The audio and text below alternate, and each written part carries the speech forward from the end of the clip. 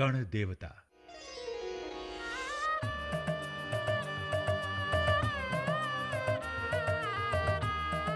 लीजिए सुनिए स्वर्गीय श्री ताराशंकर बंदोपाध्याय के बांग्ला उपन्यास, गण देवता पर आधारित रेडियो धारावाहिक की ग्यारहवीं कड़ी। पिछली कड़ी में आपने सुना, रांगा दीदी पद्म बहू को सलाह देती हैं कि देवनाथ अब अकेला हो गया है, उसको अपना ले। दौलत शेख देवनाथ बाबू को सलाह देता है कि लगान बढ़ने के मामले में हंगामे से अलग हो जाए। देवनाथ की वजह से गाँव में डाका डालने की घटना टल जाती है। तो लीजिए आगे सुनिए धारावाहिक गण देवता की ग्यारहवीं कड़ी।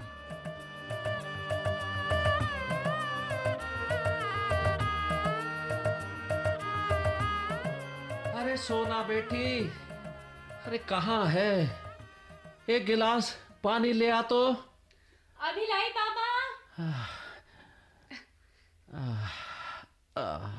बाबा ये लीजिए पानी। हाँ ला ला दे।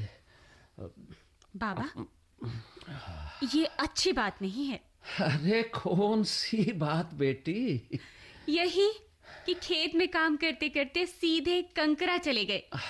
न खाना न पीना ये बेला हुआ ये। अरे बाप रे देखता हूँ तू मेरी बुढ़िया माँ बन गई है। और इतनी देर क्यों लगा दी? छोटे जमींदार से झगड़ने लगे होंगे। ओहो। तो तुझे हमारे बछड़े के बांधे जाने वाली बात मालूम हो गई। हाँ। हमारा बछड़ा छोटे जमींदार के बगीचे में घुसकर फूल पौधे खा रहा था। सो जमींदार के माली ने उसे पकड़कर बाँध दिया। और तुम जमींदार से झगड़ा करने चले गए। बेटी उसने झगड़ा करने का मौका ही नहीं दिया। बहुत भला आदमी है। उसने तुरंत अपनी गलती मान ली। ये तो अच्छा ही हुआ। अ, बाबा शिव कालीपुर के गुरुजी इतनी देर तुम्हारी राह देखकर चले गए। कौन?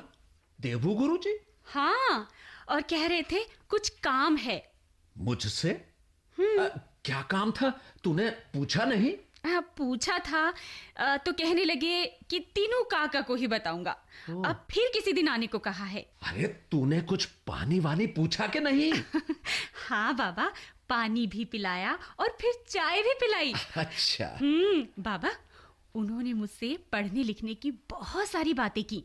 अच्छा। हम्म मुझसे कहने लगे खाली मत बैठो मिडिल के इम्तिहान की तैयारी करो। ठीक ही तो कहा बेटी। कंकना के स्कूल में बाबुओं की लड़कियाँ पढ़ती हैं। तू भी वहाँ चली जाया कर। देवनाथ आएगा तो मैं इस बाबत उससे सलाह करूँगा। ज़रूर कीजिएगा। कहीं भूल ना जाना। नहीं भूलूँगा नहीं भूलूँगा बेटी। बिल्कुल नहीं भूलूँगा।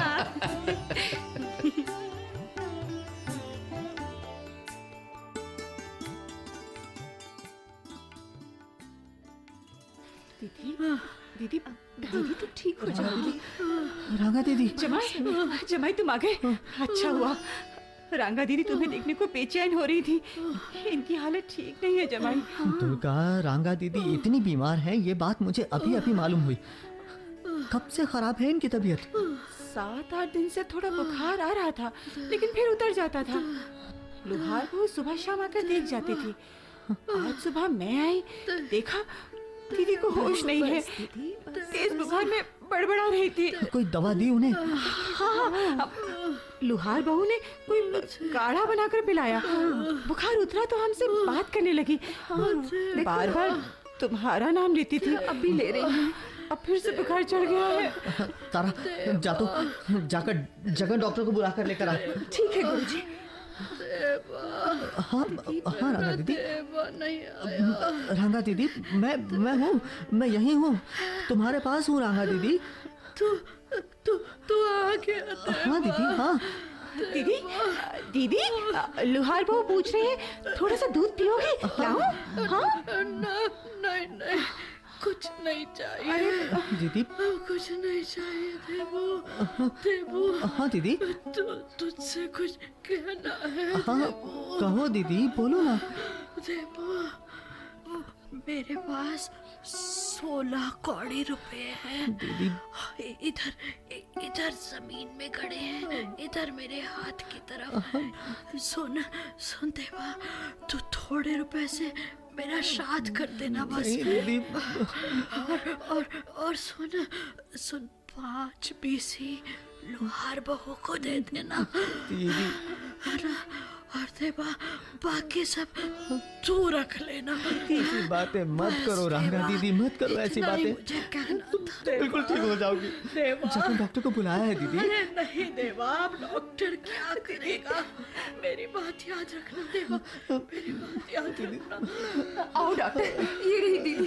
दीदी दीदी को क्या हो गया, डॉक्टर आया है। हाँ, तुम ठीक हो जाओगी बिल्कुल हो देखो भैया अब तो बुलावा आ गया बहुत धीरे चल रही है। हे भगवान हार्ट बीट भी धीमी होती जा रही है। देव देव मेरा बैग खोलो। हाँ, देखो वो इंजेक्शन है। ये देख से देखता हूँ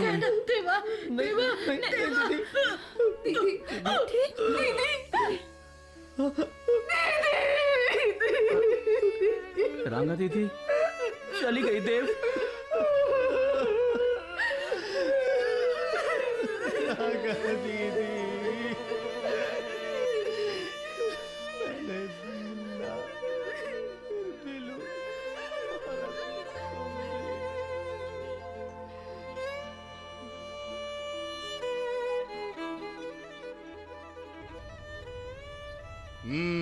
तो देवनाथ बाबू आपके बयान के मुताबिक बुढ़िया के पास कुल जमा सोलह कौड़ी यानी तीन सौ बीस रुपए थे। हम्म यही ना?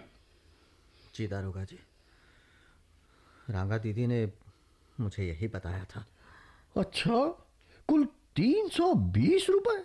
बस। श्रीहरि रुपए अभी ज़मीन में ही गड़े हैं। आप लोग निकाल कर तसल्ली कर लीजिए। अरे रांगा दीदी तो पचास जगह रुपए रखती थी। उनके बारे में भी तो बताया होगा कुछ। पचास जगह रखती थी या सौ जगह? ये तुम्हें मालूम दुर्गा मुझे बोलने दे। चुप। श्रीहरि रांगा दीदी ने जितना कहा था मैंने तुम्हें बता दिया। अरे तो देवनाथ बाबू रांगा ने आपसे ये सब कहा भी था या नहीं? इस बात का क्या सबूत है? जी। कहा था दरोगा जी। मेरे सामने कहा था मैं वहाँ मौजूद थी। ए दुर्गा तू तो उसकी जात बिरादरी की है नहीं। फिर उसके आखिरी वक्त में कैसे आई? उसने बुलाया था तुझे। दरोगा जी मौत की घड़ी में लोग भगवान को भी बुलाना भूल जाते हैं। तो वो बेचारी मुझे क्या बुलाती? मैं खुद ही आई थी। हम्म, भाई हो सकता है तूने ही रुपए के लालच में रांगा दीदी को मार डाला हो। श्रीहरि श्री हरि ऐसी नीच बात तुम ही सोच सकते हो। हाँ। ए दुर्गा। बात करने की तमीज नहीं है तुझे? अरे घोष बाबू का नाम लेकर बुलाती है। तुम क्या कर बात करती है उससे? नाराज़ मत होइए दरोगा जी। इन घोष बाबू से जब दोस्ती थी तो पाल और तुम कहकर बुलाती थी। बल्कि तू भी कह देती थी। अब इतने दिनों की आदत क्या छूट सकती है? आप ही बताइए ना। अरे मतलब की बात कर दुर्गा। रांगा दीदी के आखिरी वक्त में उसकी जात बिरादरी के लोग नहीं आए। आई तू और अनिरुद्ध की बहू। उसके क्या मायने? जवाब दे। अरे जवाब क्यों नहीं देती? क्यों आई थी तुम दोनों? दारोगा जी कोई हिंदू रास्ते में मर रहा हो और कोई मुसलमान आकर उसके मुँह में पानी डाल दे या मरते हुए मुसलमान को कोई हिंदू पानी पिला दे तो आप लोग क्या ये कहेंगे कि उसने उस आदमी का खून कर दिया? अब- अब- क्या उससे आप ये पूछेंगे कि मरने वाले के जात भाई को ना बुलाकर तुमने उसके मुँह में पानी क्यों डाला? देखिए देखिए देखिए देखिए मामले की संजीदगी को समझने की कोशिश कीजिए देवनाथ बाबू। रांगा के पास रुपए थे इसीलिए हमें शक हो रहा है। हाँ। देवू काका जब पता चल गया था कि रांगा दीदी का आखिरी वक्त है तो मुझे क्यों नहीं बुलाया? क्यों? तुम्हें किस लिए बुलाता? अरे वो क्या कैसी बातें कर रहे हैं आप? अरे ये गाँव के जमींदार हैं। दारोगा जी किसी के मरते वक्त जमींदार को बुलाना चाहिए। ये कौन से कानून में लिखा है? वाह वाह वाह वाह। जमींदार को पता ना चले और गाँव में कुछ भी हो जाए। ये दोनों बेजात होकर बेकार की बात मत करो श्रीहरि। दुर्गा और लोहार बहू हमेशा ही रांगा दीदी के हालचाल पूछने आती थी। आज कोई पहली बार नहीं आई वो। इन पर बेकार शक मत करो तुम। लो देव। जगन डॉक्टर भी आ गए। जरा इनसे बात कर लेते हैं। हाँ। हाँ हाँ पूछिए। क्या पूछना है? भाई डॉक्टर साहब रांगा के मरते वक्त आप भी मौजूद थे। हाँ। आप क्या कहते हैं? कोई गड़बड़ लगी आपको? गड़बड़? हाँ। कोई गड़बड़ नहीं थी दरोगा जी। रांगा दीदी बहुत बूढ़ी थी ऊपर से निमोनिया तेज बुखार। बेचारी सह ना सकी प्राण निकल गए उनके। दारोगा जी जंक्शन के डॉक्टर को बुलाकर लाश की जाँच कराना ठीक रहेगा है ना? और अगर उसने भी इसे स्वाभाविक मौत बताई तब क्या करोगे? रांगा दीदी की मिट्टी को कलकत्ते के डॉक्टर के पास भेजोगे? जगन! देखो जगन ज़्यादा चालाक बनने की कोशिश मत करो वरना वरना क्या करोगे? अरे, अरे, घोष घोष बाबू घोष बाबू शांत शांत घोष बाबू शांत। देखिए किसी डॉक्टर वॉक्टर को बुलाने की ज़रूरत नहीं है देवनाथ बाबू। भाई देखिए रांगा के रुपए पैसे चीज़ असबाब मवेशी सब कुछ हम थाने में जमा कर देंगे हैं? भाई बाद में आप या लुहार बहू का वाजिब हक हुआ तो अदालत के ज़रिए मिल जाएगा। घोष बाबू अब रांगा का दाह संस्कार कर दीजिए। ठीक है दारोगा जी मैं अभी सब इंतज़ाम कर नहीं श्रीहरि रांगा दीदी की देह ना किसी की रैयत है? और ना ही किसी की देनदार। हम तुम्हें जमींदार के नाते इनका दाह संस्कार नहीं करने देंगे। लेकिन मैं मैं तुम औरों की तरह अर्थी के साथ चलना चाहते हो तो चलो।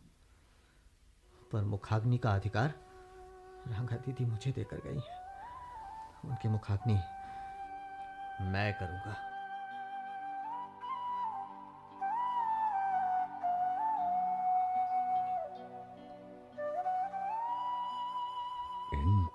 कौड़ी के किसानों की इतनी ज़रूरत। ज़्यादा लगान नहीं देंगे। अरे भूखे मर रहे हैं लेकिन मेरे आगे झुकने को तैयार नहीं है। हम्म, ये सब उस बाजी देवू की शय पर हो रहा है। अरे इसका तो कोई ना कोई इलाज करना ही पड़ेगा। तभी किसानों की हड़ताल टूटेगी। डकैती के मामले में देवू का नाम लिखकर उसे फंसाना चाहा था। लेकिन कम वक्त का कुछ नहीं हुआ। अब अब क्या करूँ मैं? हाँ, अगर गाँव भर में ये फैला दिया जाए कि अनिरुद्ध लोहार की स्त्री से देवू की आशनाई है हाँ? और और दुर्गा के साथ भी उसका नाजायज रिश्ता है।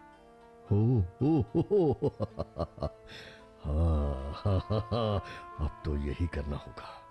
हाँ उसे लोगों की नज़रों में गिराना ही होगा।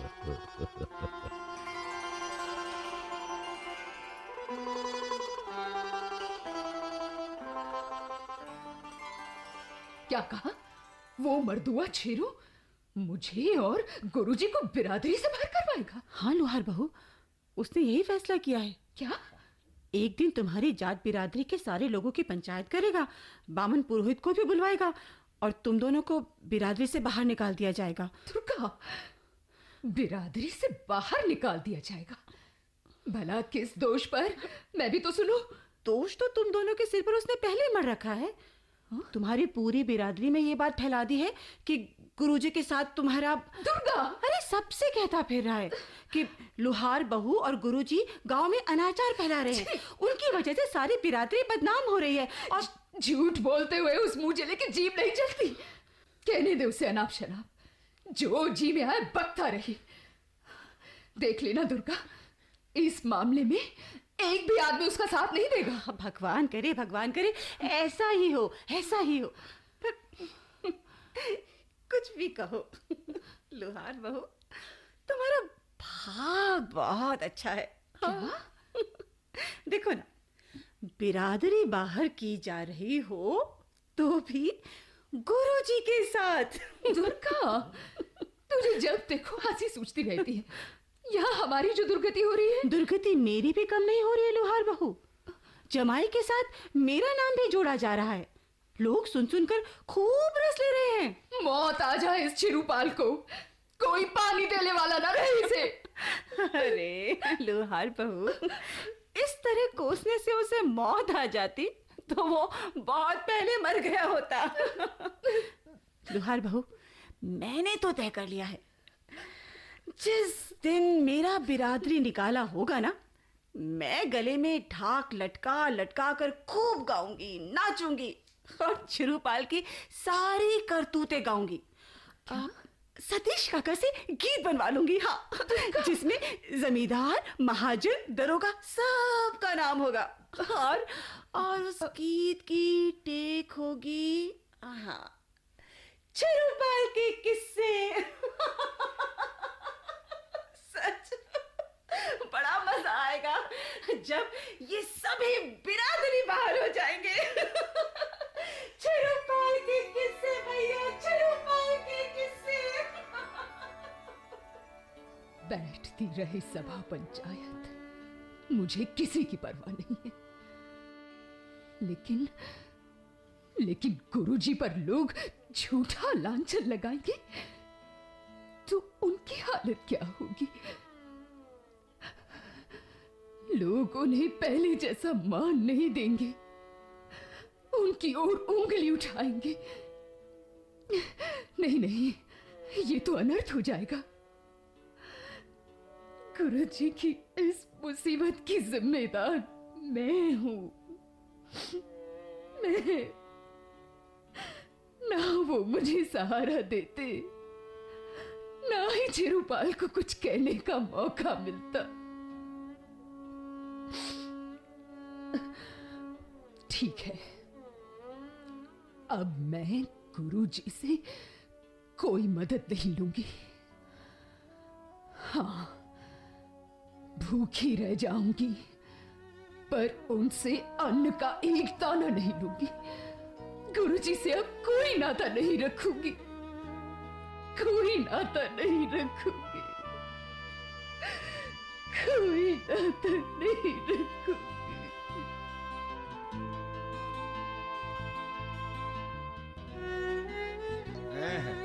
क्या कहूँ देबू भाई? हमारे सारे किए कराए पर पानी फिर गया। हुआ क्या इरशाद? कनकना के सारे किसानों को जमींदार ने रुपए पर दो आने लगान बढ़ोतरी पर राज़ी कर लिया। लेकिन निषाद भाई वो लोग राज़ी कैसे हो गए? बड़े जमींदार ने समझौते के लिए जो बैठक बुलाई थी उसमें तुम भी तो गए होगे। नहीं देबू भाई मुझे उसमें बुलाया ही नहीं गया। समझौता वमझौता कुछ नहीं। वो जमींदारों की मिली भगत थी हाँ? जिसमें दौलत शेख उनका पिट्ठू बना हुआ था। रहम अली उनकी इस चाल को नहीं समझ सका। तकलीफ़ तो इसी बात की है। वो लोग तो शुरू से ही चाल खेल रहे हैं। पेड़ काटने वाली बात को भुलाकर जमींदारों ने रहम अली की ओर झूठी दोस्ती का हाथ बढ़ा दिया। और बातों बातों में हमारे कनकना वाले लगान बढ़ोतरी के लिए तैयार हो गए। अब बाकी गाँव भी बड़ा हुआ लगान देने पर मजबूर हो जाएँगे। सब खत्म हो गया इशाद भाई।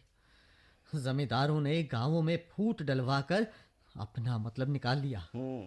इतने दिनों से लगान बढ़ोतरी के खिलाफ हम एकजुट होकर लड़ाई लड़ रहे थे। वो सब बेकार चला गया। इरशाद भाई हमारी हालत अब पहले से भी बदतर हो गई। अब कोई उपाय नहीं है। अच्छा चलता हूँ।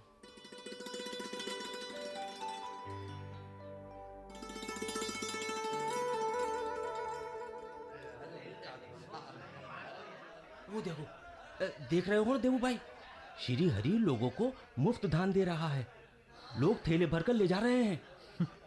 सब देख रहा हूँ। जानते हो इरशाद ये सारे लोग हमारी बिरादरी के हैं और अच्छे जाने माने लोग हैं।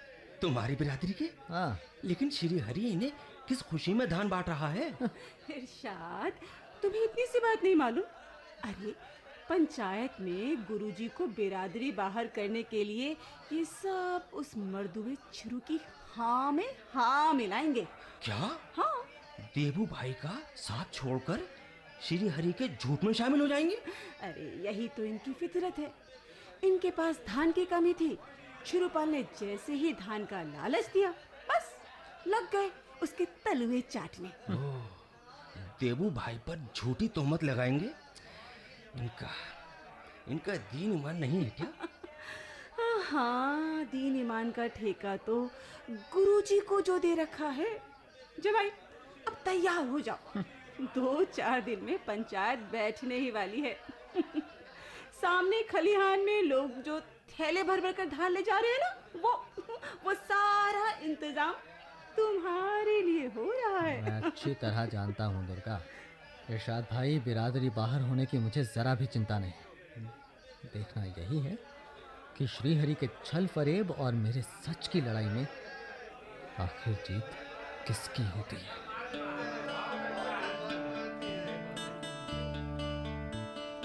मैं कहता हूँ, रामचरण पंचग्राम में सब ससुरे डरपोक है। यहाँ से वहाँ तक गीदड़ भरे हुए हैं। जमींदार के आगे दुम हिलाने वाले इसमें क्या शक है तुनु भाई? अब देखो ना छिरुपाल ने जरा से धान का लालच क्या दे दिया? सब लोग उसकी तरफ़ हो गए। लगान की बेजा बढ़ोतरी के लिए हाँ कर बैठे। करते रहे हाँ। शौक से दे बढ़ोतरी। लेकिन मैं मैं एक पैसा बढ़ाकर नहीं दूँगा। छिरू से जो बनता है कर ले। जानते हो? सुबह भोपाल आया था। बोला जमींदार जी ने आपको कचहरी में बुलाया है। फिर? गए तुम? हाँ, मैं जाता हूँ भला। मैंने कह दिया मैं खाली नहीं बैठा हूँ। जाके कह दे उस मेंढक को हाँ? और क्या? भाई मेंढक अच्छे कपड़े पहन ले तो क्या हाथी हो जाता है? तिनकौड़ी गाँव में अगर ढंग के चार आदमी भी होते ना तो उस छिरू की इतनी हिम्मत नहीं बढ़ती। बिल्कुल। लेकिन यहाँ तो एक से एक डरपोक बैठा है। छचुंदर के गुलाम चमगादड़ कहीं के। बढ़ोतरी देने को राज़ी तो हो गए रामचरण पर देंगे कहाँ से? हाँ देंगे कहाँ घर में तो फूटी कौड़ी नहीं है। फूटी कौड़ी मरेंगे सब के हाँ। साले भालू के बेटे उल्लू। उल्लू। सोना ये पढ़ाई हो रही है तेरी? अरे किताब में ध्यान लगा किताब में? बाबा मैं पढ़ ही रही थी। तुम्हारी बात सुनकर हँसी आ गई। मेरी बात?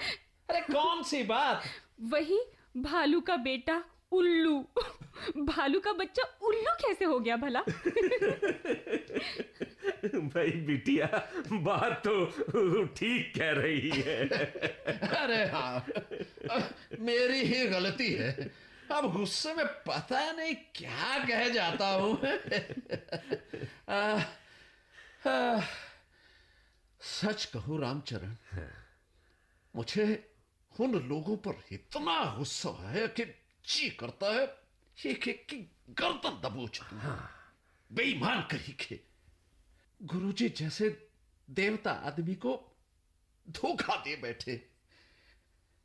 सब सब खत्म हो गया रामचरण।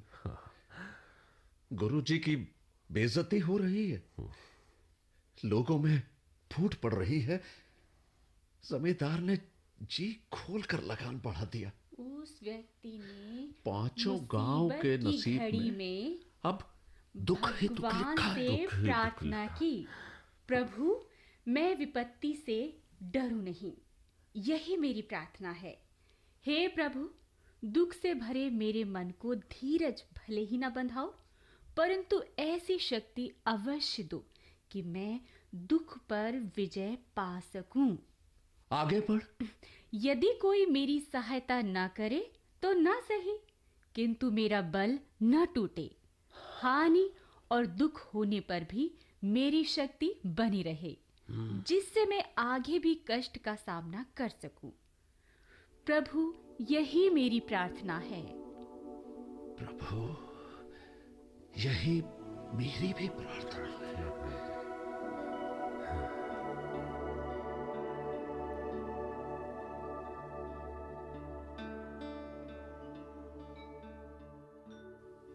हुजूर नए रजिस्टर में सारा किसानों का नाम लिख दिया है। आए ये देखिए। हम्म ठीक है। अच्छा ध्यान रखना। जोत वाले कागज़ देख कर इस रिश्ते में दर्ज करना ठीक है? जी बहुत अच्छा। और भाई जरा जल्दी से काम निपटाओ। एक के बदले दो गुमाश्ते रख लिए फिर भी अभी तक लगान बढ़ोतरी के कागज़ तैयार नहीं हुए। हरे कृष्ण हरे कृष्ण। आपने मुझे याद किया घोष बाबू? अरे हाँ हाँ हाँ। आइए आइए आइए पुरोहित जी आइए आइए बैठिए। हरे कृष्ण हरे कृष्ण। कहिए क्या काम है? पुरोहित जी वो बात यह है कि भगवान ने मुझ पर इतनी कृपा कर दी है सो मुझे भी तो उसे धन्यवाद देना होगा कि नहीं हाँ हाँ? हाँ हाँ अवश्य अवश्य अवश्य देना होगा। पुरोहित जी हाँ। प्रभु के चरणों में बैठकर मैं कोई बड़ा काम करना चाहता हूँ। अच्छा। अब यही समझ में नहीं आ रहा कि मैं वो बड़ा काम क्या करूँ। मुझे क्या करना चाहिए? आप मुझे कोई राय दीजिए ना। हरे कृष्ण हरे कृष्ण। खुश बाबू इसके लिए तो बहुत अच्छा अवसर आ रहा है। दुर्गा पूजा के दिन करीब आ रहे हैं। शिव कालीपुर के लोगों को देवी दर्शन के लिए कंकना के जमींदारों के यहाँ जाना पड़ता है। इस बार यदि हमारे चंडी मंडप में ही दुर्गा पूजा का उत्सव हो सके तो अरे वाह वाह वाह वाह वाह। कितनी सुंदर राय दी है पुरोहित जी ने। वाह वाह वाह वाह। हरे कृष्ण हरे कृष्ण। खुश बाबू दुर्गा पूजा कलयुग का अश्वमेध है। भगवान ने तुम्हें इस गाँव की जमींदारी दी है। तुम गाँव के राजा हो सो ये यज्ञ तुम ही को करना होगा। पुरोहित जी भगवान मुझसे जो कराएँगे वो मैं ज़रूर करूँगा। चंडी मंडप में पूजा होगी। आप जैसे दस बीस मान्य लोग आएँगे पूजा कराएँगे बच्चे खुशी से झूमेंगे नाचेंगे अरे गाँव भर के लोगों को भोजन कराया जाएगा। विजयदशमी को रात को आतिशबाजी होगी। और पुरोहित जी ये सारी ज़िम्मेदारी मुझे ही निभानी होगी। मुझे। ये बहुत उत्तम विचार है। बहुत उत्तम विचार है आपका। अच्छा अब मुझे आज्ञा दीजिए। हरे कृष्ण हरे जी प्रणाम। ये सब मैं कराऊँगा। मैं। गाँव में मेरे नाम की धूम मच जाएगी। सब लोग मेरा साथ देंगे। फिर देखता हूँ। मेरा विरोध करने वाले मेरे आगे कैसे टिकते हैं? घर द्वार गाय गोरू, ज़मीन, सब बिकवा कर उन्हें भिखारी ना बना दिया तो मेरा नाम भी श्री हरि घोष नहीं।